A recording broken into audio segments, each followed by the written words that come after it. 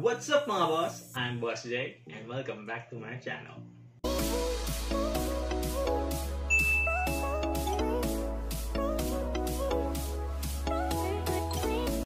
If nagustuhan mo tong video na to, please like and subscribe to my YouTube channel.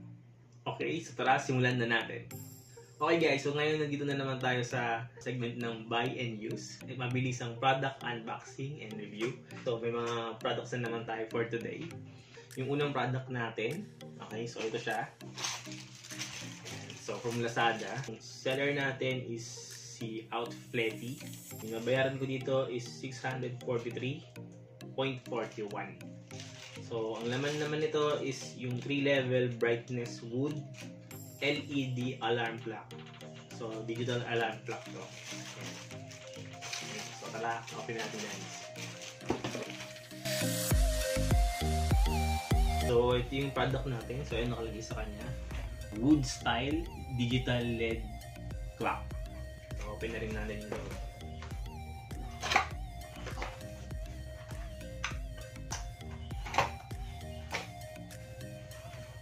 So, ito yung loob niya.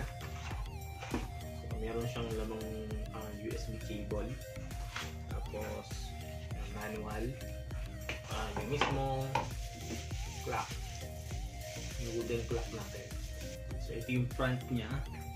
Ayan. So, wood. Ito yung sa likod niya. Okay, ngayon, so ngayon naman ay itetest naman natin yung product natin. Sa set button, siya yung display mode change. So sa up button naman, um, siya yung temperature mode change. So pwede mo siyang gawing um, C, yung para sa Celsius, or yung F para sa Fahrenheit. At yung down button naman, siya naman yung para sa voice mode change. So dito naman sa gilid, ayan, dito meron lagayan ng battery. Pwede kang maglagay dito ng 4 na 3A batteries. Yan, so apat na piraso. So dito mo siya lalagay. Yan. So pwede mo siya lagyan ng battery. So yung isang option, pero dito meron ka rin option na DC. So pwede mo siyang kabit dito yung kuryente. Okay, para diretso na siya dun sa um, alarm clock mo. Yan, dito. Kaya meron siyang provide na USB cable. Okay. So, dito natin lalagay yung para sa pag-direct current na siya. So, ngayon, wala tayong 3A na battery. So, ang gagawin natin is tatry natin i-connect siya using yung ating USB para magka-power siya.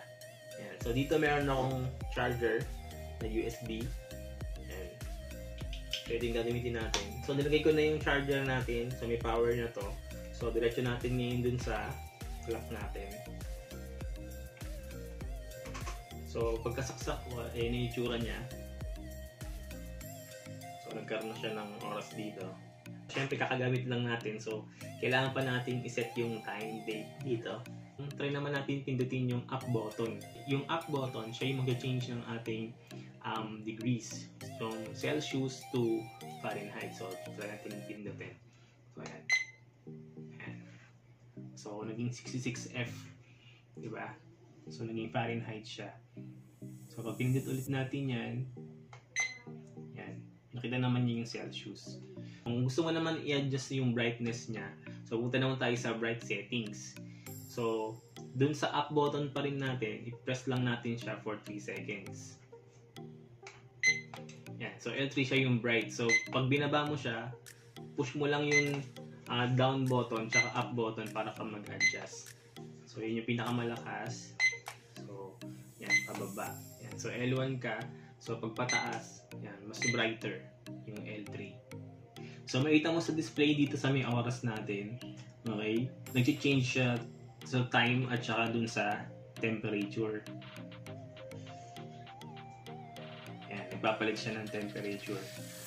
So, pag pinindot mo yung set, mag-change siya ng display.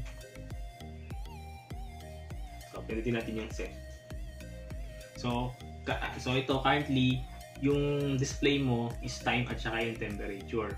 Pagka ang gusto mong display is yung ano na lang, is yung time na lang, so hindi mo na gustong ipakita yung temperature, pwede rin.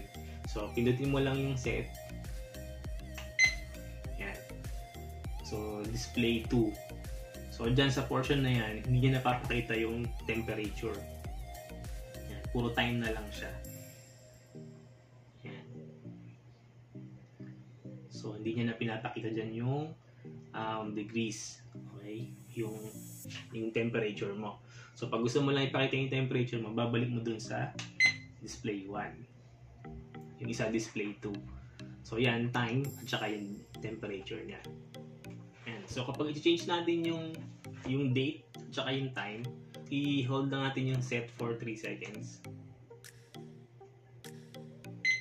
Yan. Tapos yan, magbiblink na siya. Itong portion na to, ito yung year. So, up and down mo lang siya. Okay, kung anong year na. Tapos, pag pinindot mo yung ulit yung set, yan. So, yun naman yung month. Tapos, ito yung day. Yan. Yung day niya. Pag pinindot mo ulit yung set, yan, mamimili ka kung um, kung 24 hours or 12 hours. Change mo lang siya. Yung iba naman dyan is yung alarm.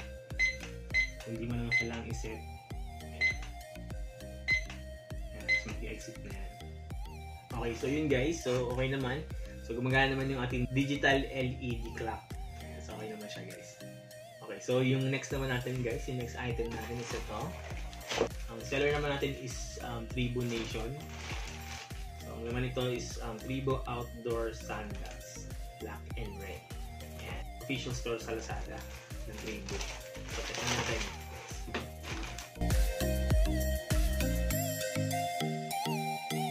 Ito yung pinaka-box niya. Medyo may tupi-tupi lang siya. Siguro syempre sa pag-deliver. Importante yung loob.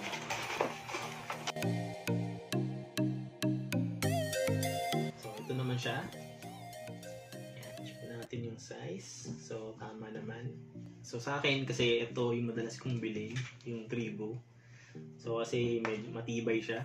So, matibay gamitin. Maganda yung yung kanyang sa ilalim, makapal. No? Tapos, matagal ko siyang nagagamit. Makapit siya, ganun. Okay siya. So, maganda gamitin. So, laging, ito yung chinelas na binibili ko. Ayan, so marami ring ibang klase ng chinelas na parang ganito din yung style. So tingin ko okay din yun. Pero this time, yung sa akin kasi ang binibili ko is Tribo. Ayan. Okay naman siya. Sakto lang yung size. Lagi kasi yung bumibili na to, so alam ko na yung size ko. So yun. Sakto naman. Okay naman siya. Boss, so yung next naman na item natin, ito, from Lazada rin siya. So, ang seller natin is Deo Shop. So, ang laman nito is hot and cold pack compress. Tingnan natin ito guys.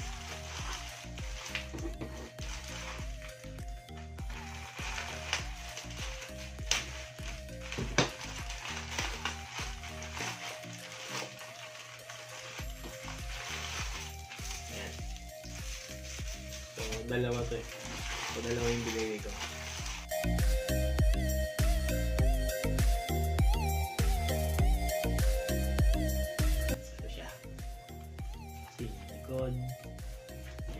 Likod, nakalagay yung mga instructions niya pagka lalagay mo siya as malamig or yung kung mainit ang gusto mo. So, ayan. So, pag malamig, pwede mo doon siyang store sa freezer so that the pack is ready to use in case of injury. So, approximately 1 hour is required to freeze gel. Ayan. Ideal to use for reducing swelling, toothache, temporary relief of headache, reducing fevers. Whether used hot or cold, it is advisable to check that the temperature is not extreme against the skin. It is recommended that the gel pack is wrapped in cloth before applying to skin. So sa hot din naman, ang nakalagay din sa hot, ayan, so microwavable siya, mga 30 seconds to 1 minute. Times are based on a 600 watt microwave. Kung walang microwave, pwede rin gumamit ng water. So hot water, pwede rin siya. So, yun daw, lagay mo daw siya sa hot water. So, bring water to boil, remove from heat, and immerse the gel pack for approximately 4 to 10 minutes.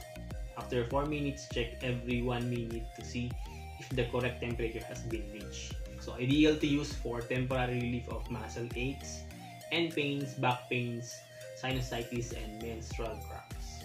Lagyan natin siya ng hot water. Try natin siya.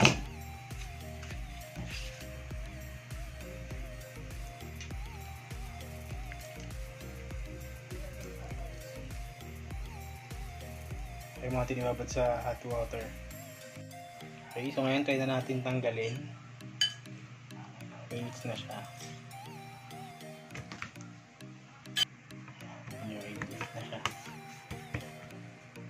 So ngayon, lagyan natin siya.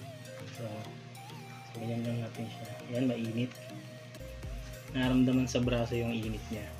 Yan, kasi yung gel niya, nainitan na siya. So kumapit na yung init sa kanya. So maganda siya pagka i-compress mo na sa katawan mo. Ganyan natin. Yan.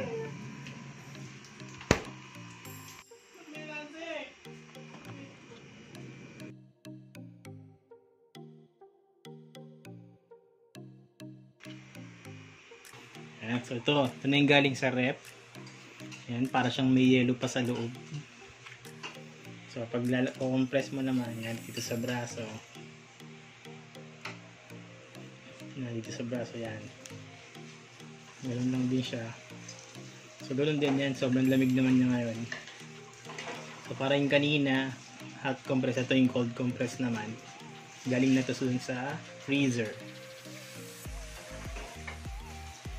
Ayan, so, lamig. So, okay naman siya. Maganda. Parang yellow talaga na nilagay.